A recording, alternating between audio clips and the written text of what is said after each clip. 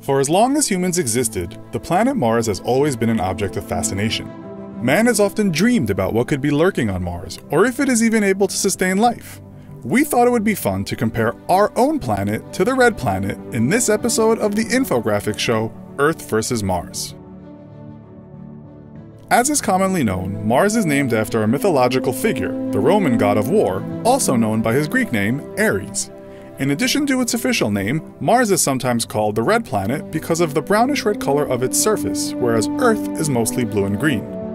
Mars is a little further away from the Sun than Earth is, with Earth being 93 million miles away and Mars being 141 million miles away. It is also half the size of Earth, with a diameter of 4,220 miles compared to Earth's 7,926, though it does have the same amount of landmass due to the Earth's oceans. The speed at which Earth orbits the Sun is 18.5 miles per second. If one was traveling at that speed from New York to Los Angeles, it would take approximately 2 minutes and 12 seconds, barely enough time to stow your tables and turn off your electronic devices. Mars orbits the Sun at the speed of 14.5 miles per second, so that same trip from New York to LA would take a little over 3 minutes.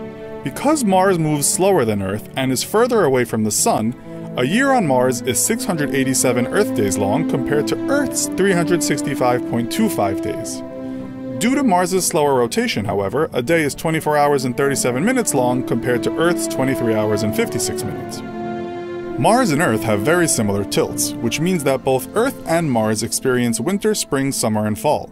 Because Mars is further from the Sun, however, it is much colder than Earth. The average temperature on Earth is 57 degrees Fahrenheit, while Mars is negative 81 degrees Fahrenheit.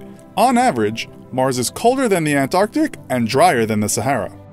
As far as gravity is concerned, Mars has 63% less of it than Earth. This means that you will weigh 63% less on Mars.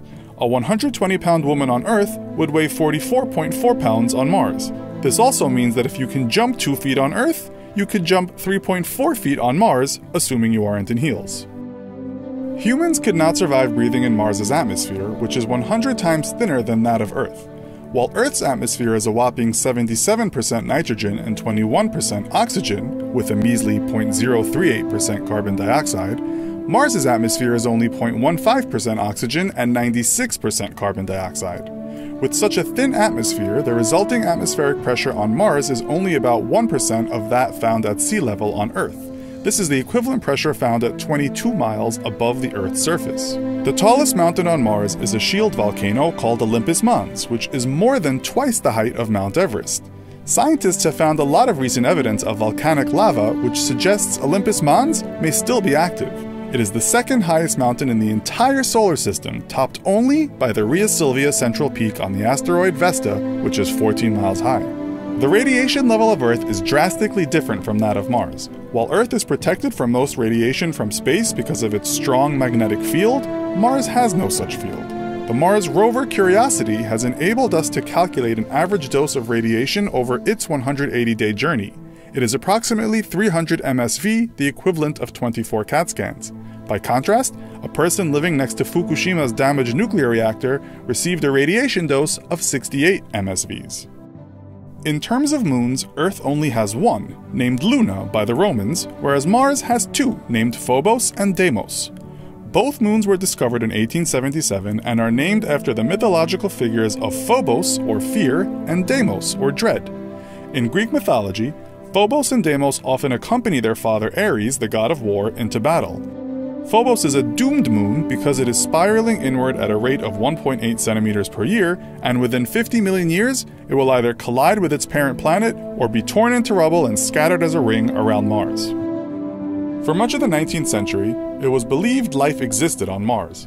After a false observation of straight lines that appeared to be canals constructed for irrigation purposes, some scientists concluded that they could only be the work of intelligent life. The development of more powerful telescopes in the early 20th century determined that those straight lines were merely an optical illusion. As of now, no definitive evidence for biosignatures or organics of Martian origin has been identified. Life on Earth, on the other hand, is believed to be about 4 billion years old. At this point, some of you might be wondering how humans would fare on Mars. Because Mars has only 0.6% of Earth's atmospheric pressure, as far as humans are concerned, the planet might as well be a vacuum. After around 15 seconds on Mars, the human body would use up all of its oxygen and it would lose consciousness. The moisture lining in the lungs, as well as the saliva in the mouth, would boil, in effect rupturing the lungs. Any chance of humans living on Mars would obviously require a dramatic terraformation of the planet. We hope you enjoyed this brief comparison of Earth and Mars. Do you think that humans will ever be able to live on Mars? And if so, would you go? Let us know in the comments. Also, if you like our videos and want to help us make more of them, please head on over to Patreon and show your support. Finally, as always, don't forget to like, subscribe, and share.